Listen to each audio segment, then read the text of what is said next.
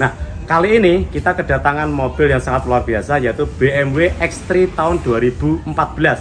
Keluhannya seperti biasa ya, AC itu selalu uh, panas dingin, meriang.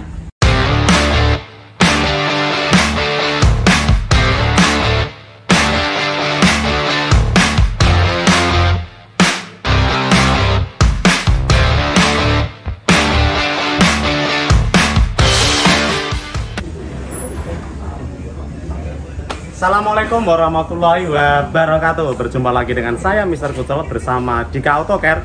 Kali ini menyapa panjenengan semua, menyapa anda-anda semua Dengan bengkel spesialis AC mobil yang berada di Tangerang. Nah, kali ini kita kedatangan mobil yang sangat luar biasa Yaitu BMW X3 tahun 2014 Keluhannya seperti biasa ya, AC itu selalu uh, panas dingin, meriang. Nah, meriang ini kenapa? Kemarin sempat curhat ke bengkel resminya BMW, tapi budgetnya uh, luar biasa akhirnya ke kita kita kasih dengan budget yang terjangkau tapi dengan kualitas yang nomor wahid nomor satu seperti apa prosesnya yuk kita sepil mobilnya ikutin saya ya Oke, nah sekarang kita sudah berada di depan mobilnya BMW X3 tahun 2014. Nah, kita sepil mobilnya ya. Nih, mobilnya seperti ini. Kondisinya. Nah, keluhannya dia panas dingin. Setelah cek and recheck ternyata terjadi problem di kompresornya dan terjadi kotor dalam evaporatornya. Nah, pekerjaannya nanti akan dilakukan pembongkaran dashboardnya, akan dibersihkan e, evaporatornya dan akan diganti kompresornya, dilakukan penggantian kondensornya. Nah, seperti apa prosesnya? Jangan ke mana-mana, tetap pantau terus prosesnya. Nanti kita kasih informasi yang up to date untuk anda semuanya.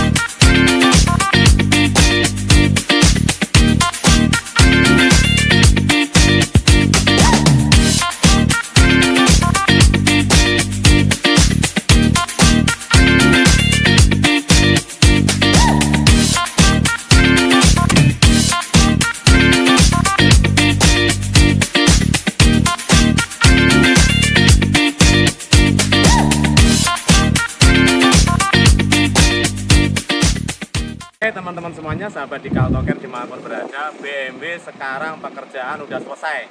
Kurang lebih waktunya ada tiga hari Yang semula akan kita overhaul total Mulai dari evaporator, kompresor, eh, kondensor, dan eh, flash instalasi.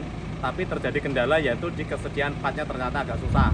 Dan akhirnya kita lakukan pemetaan Mana yang masih layak pakai Akhirnya kita pakai kembali. Dan kita upayakan kompresor utamanya akhirnya dilakukan penggantian. Nah seperti kemarin dari tonton videonya ya e, nanti akan di, kita sepil. E, hasilnya seperti itu yang dikerjakan itu dan sekarang kita sepil. Seberapa derajat sih dinginnya setelah dilakukan penggantian kompresor? Yuk ikutin saya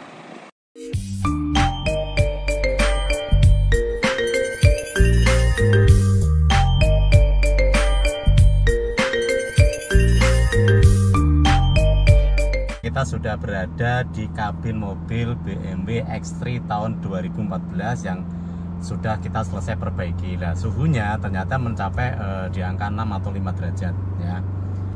Nah, terus uh, uh, di Dika Autocare itu tidak hanya menerima mobil-mobil biasa atau mobil premium atau mobil yang uh, kelasnya LCGC atau uh, kelasnya ya kita hampir semua mobil bisa kita perbaiki kita juga di Autocare melayani juga pemasangan unit baru eh, baik itu truk ataupun alat berat eskavator ataupun loader atau bumak dan lain-lain intinya di Care eh, bisa melayani semua perbaikan dan instalasi pasang AC baru apa pun itu. Dan bantu like, komen, dan subscribe dan sampai jumpa di video selanjutnya